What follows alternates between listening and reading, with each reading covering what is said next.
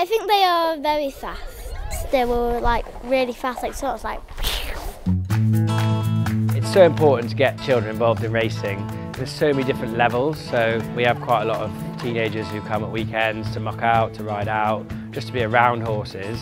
What tends to happen is once they learn and find out about horses, then they get really interested and then they learn more. And then there's so many different levels. You can then learn about the handicap. You can learn about different races, different disciplines, jump, national hunt, flat.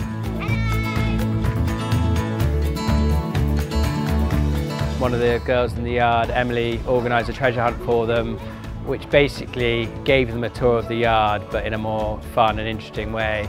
There was little questions on the boards and then we had to guess where they were. I had five questions around the yard. One at the tack room, one at our smallest, friendliest horse, feed room, wash bays and horse walker. And they're slightly educational, so it had a little bit of information, you know, why we put the horse on the horse walker. And then after that we went to the gallops, saw the horses on the gallops, which they all found interesting. I think they are very fast. They were like really fast, like sort of like we went to the jumping lane and we sort of explained that's where we teach them to jump, etc. And they all had a little jump themselves. And then we came back to the yard and we split into three groups. One of the groups had a look at the farrier display. One group patted a pony and ran round our loose school, our arena. I like stroking the horses. They're all really nice. I like Joe, the little tiny horse.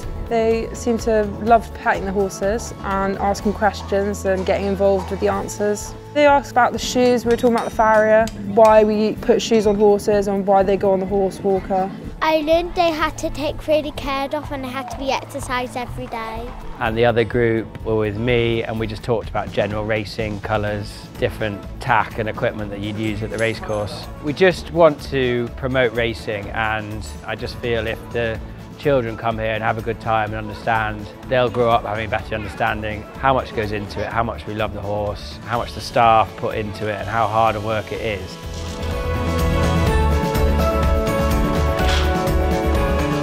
Our open day on Saturday was amazing because we had nearly 700 people come, meeting people who had never touched a horse before, so they weren't horsey, people who were horsey but never seen a racehorse. It's nice for people to, from the outside to see what we do and then hopefully spread the good news around.